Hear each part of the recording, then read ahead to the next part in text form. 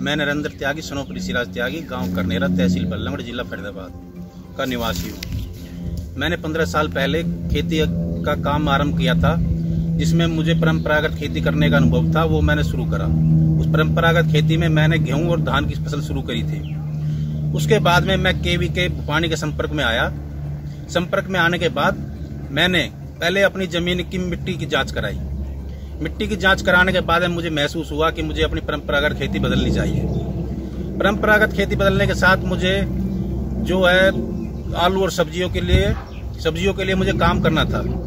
सब्जियों काम करने के लिए मुझे जो है अपनी, सब्जियों काम करने के लिए मुझे डॉक्टर राजेंद्र जी ने एक सलाह दी। उस सलाह में कहा गया कि आप ग्यारह इक्कीस को छोड़कर पंद्रह ज़ीरो नौ की खेती करें। मैंने पंद्रह ज़ीरो नौ की किस्म की धान की लगाई, जिसमें लगाने के बाद मैंने आलू और गोभी, दोनों की सब्जियों की खेती करी। सब्जियों की खेती करने के बाद मुझे मुनाफा काफ़ी हुआ। मेरी दिलचस्पी बढ़ी तो मैंने मिश्रित खेती करनी आरंभ कर दी। फिर उसके बाद में मैं डॉक्टर देसवाल जी ने मुझे सलाह दी कि आप जो जो है मैंडो पे पॉपुलर और सफेदे लगाओ। मैंने उनकी सलाह के कारण, सलाह लेने के बाद में पॉपुलर और सफेदे लगाए। सफेदे लगाने के बाद में मुझको जो है, उनकी जो आर्थिक स्थिति काफ़ी अच्छी हुई। बेचने के बाद में उससे मुझे आर्थिक लाभ मिला। उसके साथ मैंने परंपरागत खेती आधी आध छोड़ दी। उसके बाद मैं सब्जियों में आ गया। मैंने सब्ज़ी की खेती करनी शुरू कर दी। मैंने जो है आधी आधी कर दी है।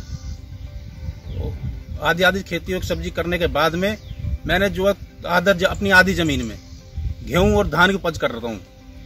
ग्रीष्म उसके गेहूँ के कटने के बाद में मैं ग्रीष्मकालीन मूंग का लगाता हूँ। ग्रीष्मकालीन मूंग लगाने के बाद में मुझे उसका आर्थिक स्थिति, आर्थिक लाभ मिलता है। आर्थिक लाभ के साथ साथ मुझे उसकी जो है, ज़मीन की उर्वरक शक्ति भी बढ़ती है और मुझे जो है, खर्चा मेरा जो अगली फ़सल का है, वो कम हो जाता है खाद का।